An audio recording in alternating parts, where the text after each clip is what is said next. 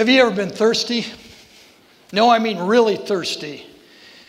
So thirsty that you're totally consumed. How do I get my hands on water? How do I get something to slack my thirst? For years, I spent my summers working on the family farm, family Christmas tree farm. What a lot of people don't realize about a Christmas tree farm is you see a Christmas tree on the lot at Walmart and you go down to buy the tree and it's a perfectly shaped cone. That doesn't come naturally. Somebody has to create that tree. And every year, from the time you plant a tree till it gets about uh, mid thigh, you're taking a knife like this one, has an 18 inch blade. This one has a longer handle, an 18 inch handle, but typically you'd have a 9 inch handle. Okay, and you have to go around that tree every year and you've got to trim it.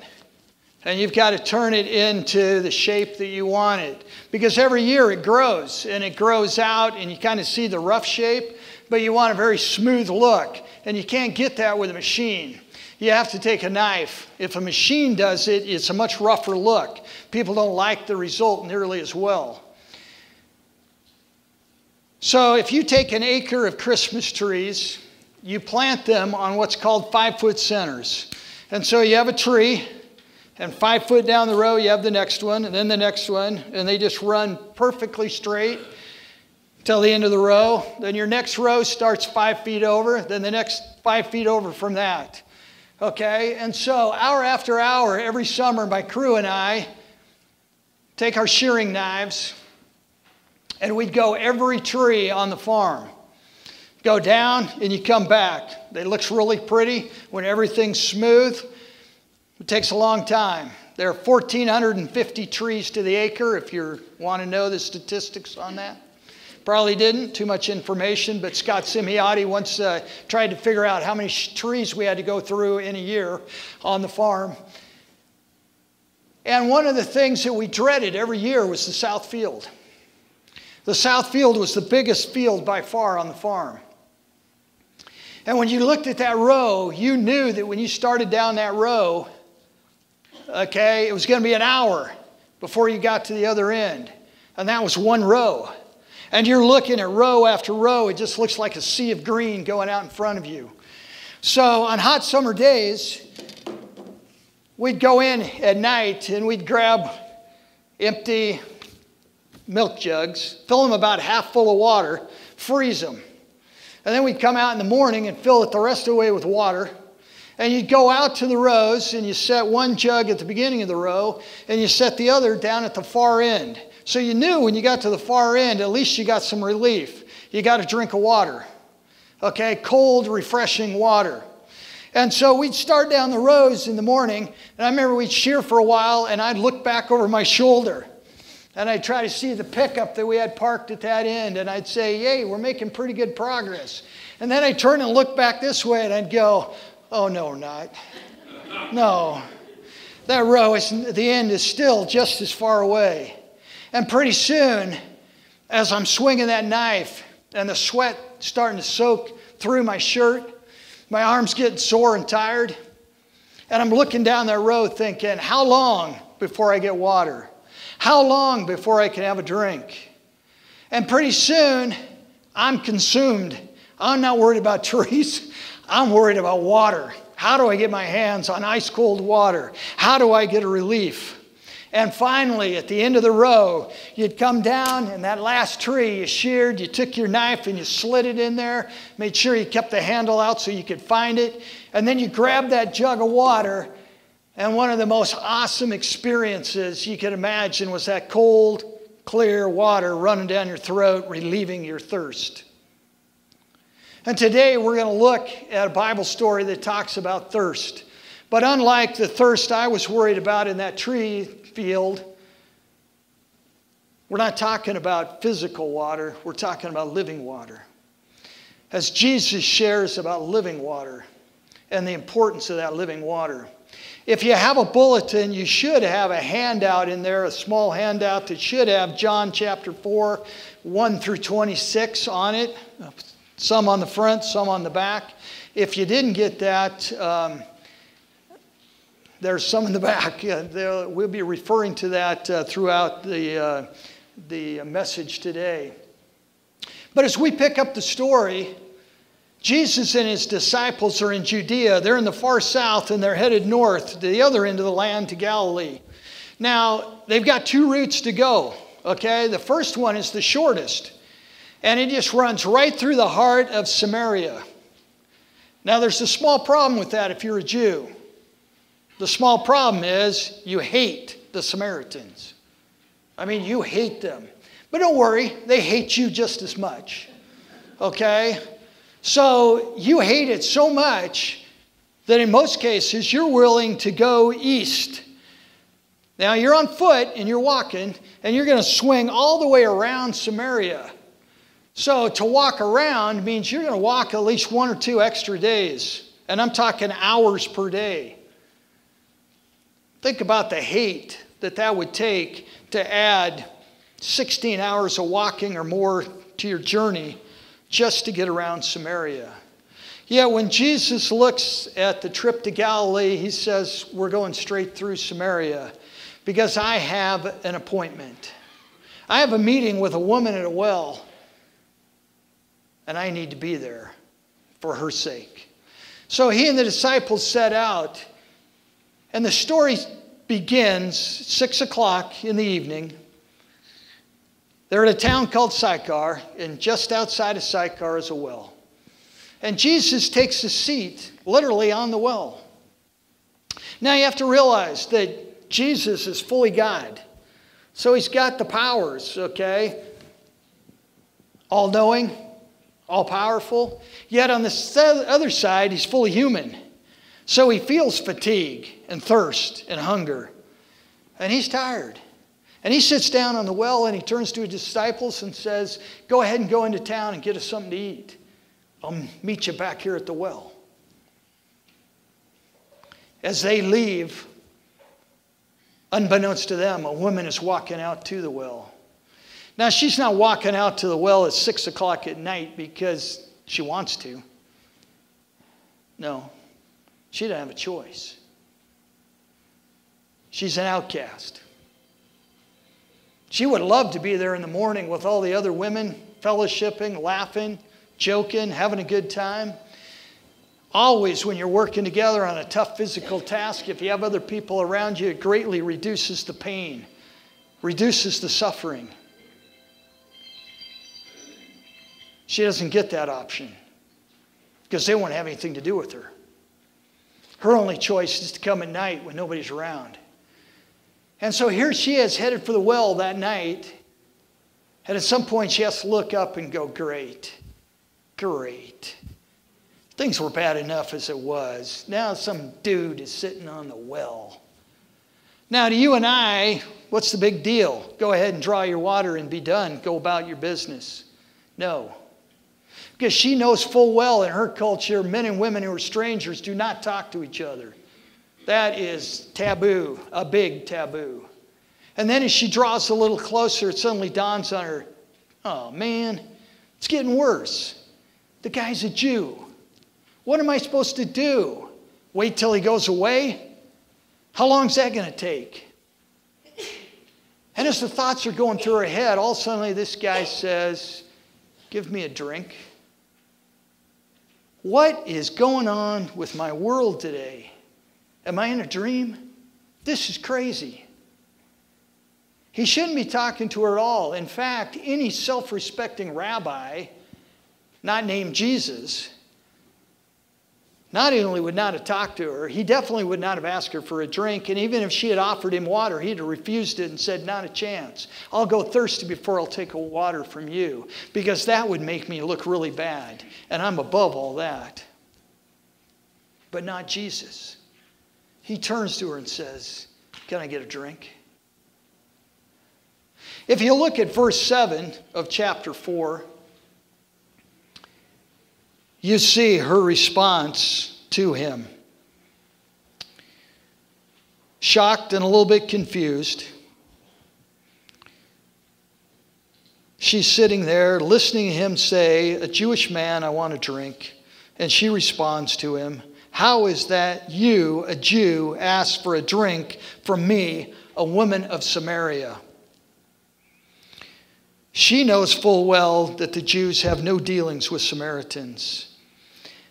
And yet, Jesus doesn't turn away. He's not harsh. He's not demanding. He simply makes another statement that probably throws her a little bit more for a loop, but also grabs her curiosity. As he says to her, If you knew the gift of God, and who it is that is saying to you, Give me a drink, you would have asked him, and he would have given you living water. What? Wait a minute. Who are you? Number one, why are you talking to me?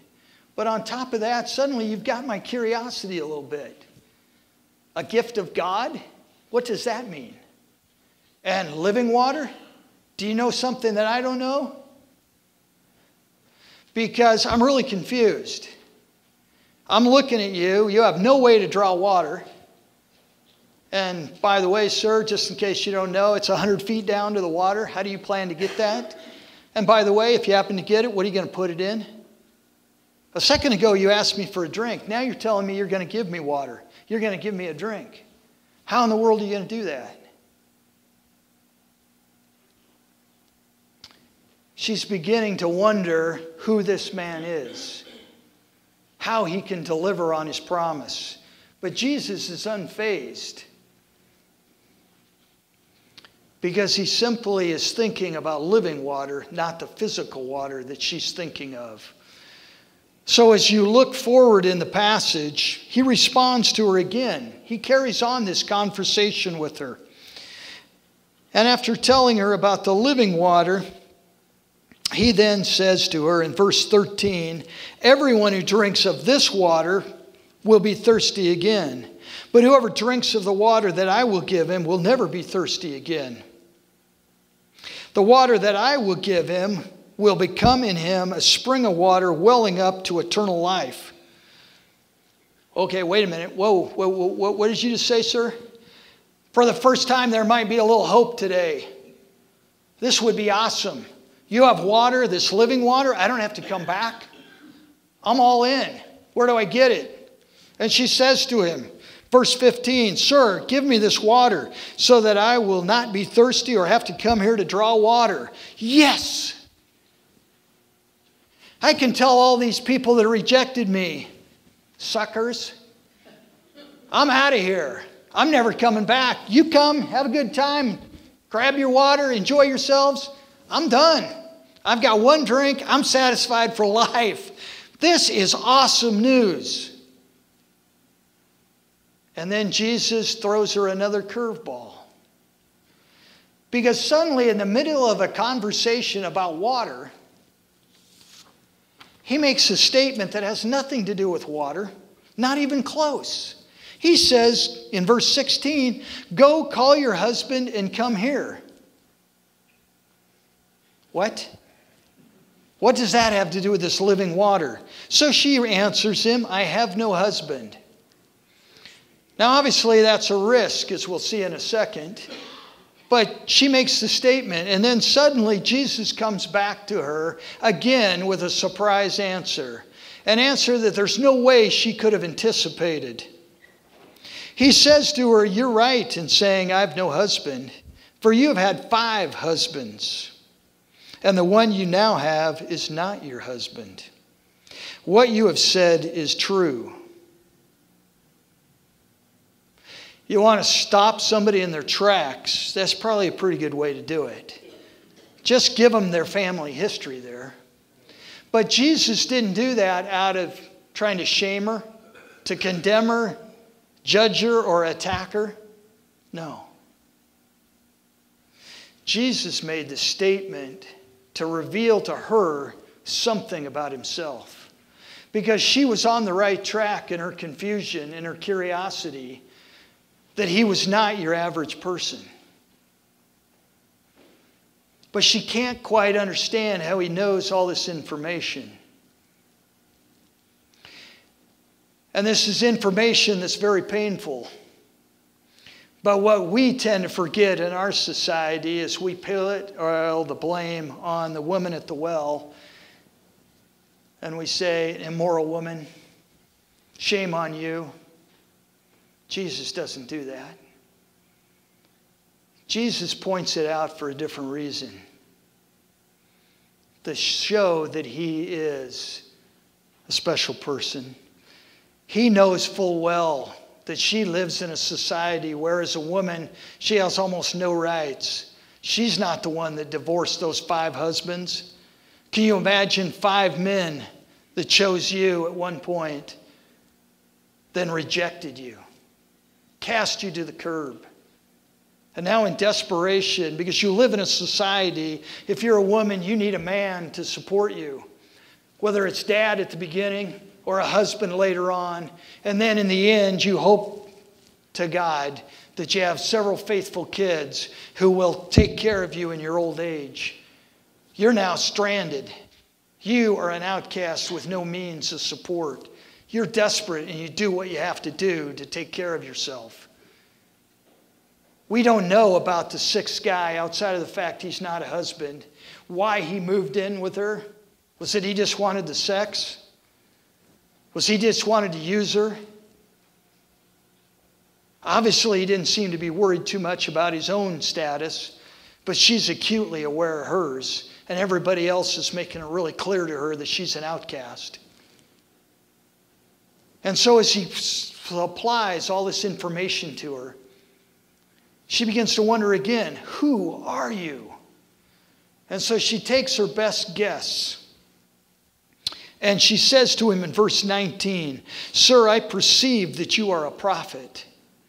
How else could you know this unless God or somebody's given you the information? But now she also gives us a hint that things have gotten probably a little too personal. Because instead of going on about her personal life, she asks him a question. She spins it on him. And she says to him, there in verse 20, Our fathers worshiped on this mountain, but you say that Jerusalem is the place where people ought to worship. So help me out, sir. I'm a Samaritan, you're a Jew. You Jews say that you're supposed to worship in the temple in Jerusalem. That's the holy city, and that's where you're supposed to worship. We Samaritans, on the other hand, said, You know, we don't like you. You won't let us because of our half breed status. The fact that we intermarried with other people, okay, non Jewish during captivity, we're now considered subhuman to you, so you won't even let us in the temple. Fine. So be it. We'll create our own temple. We have our own mountain. We worship where we want to worship. Oh, and by the way, your scriptures, we don't like them very well either. Okay? You have the law, you have history, you have the Psalms and Proverbs, and you also have the prophets. Eh, all we care about is the law, the first five books of the Bible. So, sir, you know so much. You tell me, who's right? You Jews over here or we Samaritans? It takes the spotlight off her momentarily. But then Jesus graciously continues and again piques her interest just a little bit more as he says, Woman, believe me, the hour is coming when neither on this mountain nor in Jerusalem will you worship the Father. You worship what you do not know. We worship what we know, for salvation is from the Jews. But the hour is coming and is now here when the true worshipers will worship the Father in spirit and truth, for the Father is seeking such people to worship him. God is spirit, and those who worship him must worship in spirit and in truth. The woman struggling. She doesn't understand a whole lot about how religious things work, but she's trying to understand. And Jesus suddenly says, You're not going to worry about Jerusalem and the temple there. You're not going to worry about the one in Samaria either. There's a time coming, and in fact, it's already started because I'm here, where I'm bringing in a whole new movement and I'm bringing in God's kingdom. And suddenly, you're going to go from a very formal, a very distant type of worship at many times to a very personal worship. And place will not matter so much as your heart will matter and your relationship with God. That's what will matter. Now, again, she takes one more desperate stab in this conversation and says back to him, I know the Messiah is coming who's called Christ. When he comes, he will tell us all things. You're right, sir. I don't know a whole lot. I can't even wrap my head about what you're saying. I just know I've been told that one day the Messiah will come and the Messiah will answer all the questions, give us relief. That's all I can tell you, sir. And then, one last time, he blows her mind. Because he looks at her and he says, Guess what? I am the Messiah. I am He. Now, she had hope for a moment with the living water. But now, wow, you're the Messiah? I'm speaking to the Messiah? Think about this for a second. In the book of John, this is the first time that Jesus reveals that he's the Messiah to anyone except his disciples. Are you kidding me? This is huge news. He doesn't go to some rich noble. He doesn't go to a highfalutin politician, a military hero. He doesn't even go to his own people, the Jews. Forget man. He doesn't talk to men or women on the Jewish side. He comes to Samaria, a woman greatly in need of hope and he has a conversation that he's not supposed to be having, totally focused on her. He's gotten rid of his disciples. It's just one on one. And at the end of the conversation, he says, I have great news for you. I am the Messiah. I'm here. Now, as far as we can tell, this woman never gives Jesus a drink of water. And then she just abandons the water pot altogether and phew, she's gone. And she's racing back to a bunch of people that will have nothing to do with her. Doesn't even break stride. She hits town and she says two things. She doesn't have a lot of information she doesn't know a whole lot of things, no time to put together all these glorious logical arguments to convince anyone. She simply goes and says, This is what I know, first of all. I met somebody who knows everything about me that I've ever done. By the way, could this man be the Messiah? She doesn't try to argue with him. She doesn't try to persuade him. She just says, hey, you might want to check it out yourself. But I met somebody incredible that tells me he's the Messiah. By the way, he has something going for him. He told me all about my life too. Would you be interested in checking it out? And we're told in the passage ahead that right there, some of these people that scorned her and would have nothing to do with her believed in Jesus as the Messiah right there on her testimony. Then others said, You know what? We're going to take you up on that offer. We're going to go check this guy out. Hmm. Who is this guy? How could he do this? And they too, many of them, come to believe in him.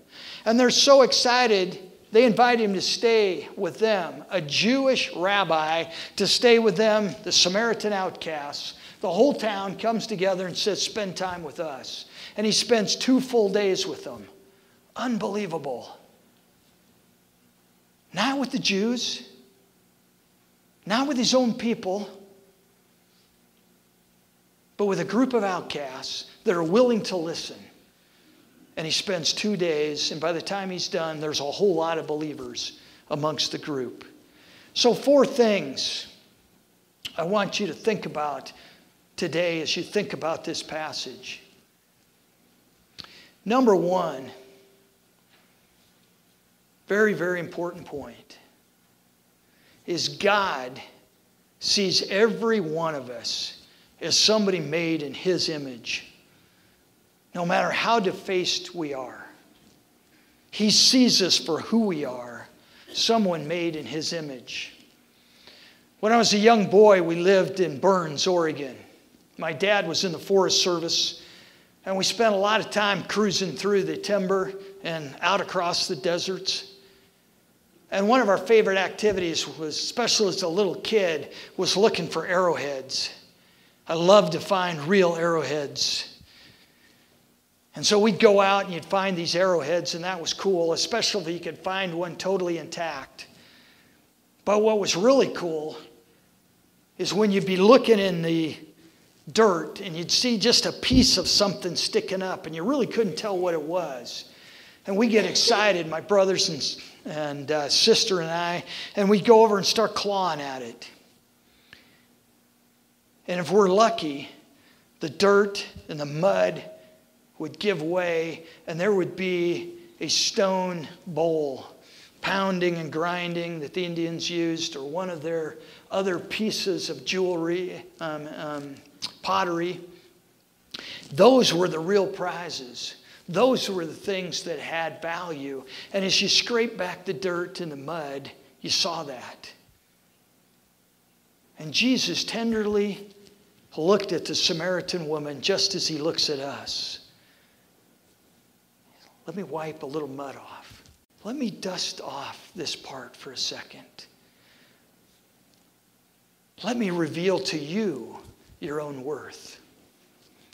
The second thing is God tells us in the Bible if you truly seek God, you will find him. Now you have to understand what you mean, he means by seeking. Okay? If my goal is to find the genie in the bottle, okay, so I've got this all powerful being that I just have to rub the outside of the bottle and suddenly, boom, out comes the genie and says, What do you want? And I say, All kinds of things. Okay, I need a new car. I need a new house. I need a new job. I need a new vacation. I need whatever. No. Good luck. You will not find him. Because you have to truly seek to know, like the woman at the well, who are you? Who are you, Jesus? Jesus makes some very strong claims. He claims to be the Messiah, the Son of God. And he says, If you truly seek me, you will find me. I will supply the answers because God is waiting for us for a personal relationship one on one if we will simply take the time to pursue one with Him. Third, Jesus tells the woman at the well there's only one source of living water. We're not talking about physical water like I was talking about and slacking my thirst momentarily on a hot day, even though that's really wonderful, and I'm very glad we have those options. He's talking about providing you with eternal life, hope in this world and in the next. Because what the Samaritan woman doesn't know is in a short time, Jesus is about to sacrifice his life for hers and for me and for you and everybody who did or will ever walk on this planet. And he's about to give us that offer. If you'll accept my sacrifice, I will welcome you into God's family, my father says. God the Father will say, come into the family. But there's only one way. The world promises a lot of great options. Here's the key to success. Here's the key to your career. Here's the key to more possessions, more wealth, more friends, more whatever. And all of those ring true for a short period of time, and then they fall flat. They just drop dead. The only thing that answers long term and fully is Jesus, living water. And the final thing that is exciting to me is Jesus says, I don't care how much you know, but if you trust me, I give you all you need to know to tell somebody else about who I am. This woman didn't sit down and say, Okay, I've got the good news, I'm going to keep it to myself. She immediately sprints off to share it with somebody. She also doesn't sit down and say, I need a really well put together testimony. I'm going to have to work on this, make sure it's really well polished. Doesn't sit down and say, What are the best ways to approach apologetics or theology? No. She takes the one thing she has a face to face encounter with Jesus Christ, and she says, Here's all I can tell you at this point. He told me all there is to know about me. To me, that suggests that he's someone unique. Then he told me he was the Messiah. So let me ask you do you think he's the Messiah? If you're sitting here today as somebody that's not sure, Take time to check out Jesus and His Word. Check it out and ask truly Jesus, are you who you say you are? And if you are a believer sitting here today, as Joe talked about, the communion's coming up, an opportunity to remind ourselves we have the gospel of hope. And there are a lot of people in our world, just like the woman from the well, are desperate for hope. A woman who for years has had no hope at all and is probably at the point where she figures there's never going to be any hope. And Jesus meets her face to face and tells her, Join my family. I want you as one of my daughters. As you're sitting out there, God is calling you sons and daughters. And those of us believe we need to share that good news and not worry about how fancy or how well put together our presentation is. Just say, This is what I know. You might want to check him out and see if he's the Messiah. Because the cool thing is, God will deliver on his promises. For those who are not believers, a chance to find real hope. For those of us who are believers, a chance to cling to that hope and to share it with other people. Let's close in a word of prayer. Father, thank you for the honesty of the woman at the well. Father, thank you for a woman who was open minded, a woman who said, I don't know but I want to know. A woman who said, Obviously, I'm hurting. I've got that part figured out. Can you give me hope? And Father, just help us to remember that that same Jesus is alive and well today. And if we've not accepted him, he's waiting for us to come to him and ask about him. And if we are one of his children, he is sitting there, a proud, loving, caring father who's sitting with open arms, tears coming down his face, arms widespread, saying, Come, come, sit on my lap. Allow me to gather you in my arms and comfort you, my son or daughter. Allow me to comfort you. In Jesus' name, amen.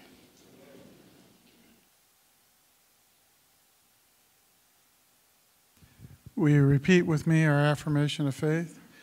I believe with all my heart that Jesus is the Christ, the Son of the living God, and my personal Lord and Savior. Let us pray. Dear Heavenly Father, we thank you for this opportunity to come to the table. We thank you for this time that you have uh, enacted for us to remember your sacrifice that you made on the cross for us, Lord. And Lord, as we partake today of the um, bread and the the juice, we just ask that uh, um, we will remember this sacrifice as we go through this week, and we'll remember the gift that you've given us that we will share with those that we come in contact with. We ask this all in your name. Amen. While they were eating, Jesus took the bread and broke it and gave it to his disciples, saying, Take, eat, this is my body. Then he took the cup and blessed it and said, This is the blood of the new covenant poured out for the forgiveness of sins.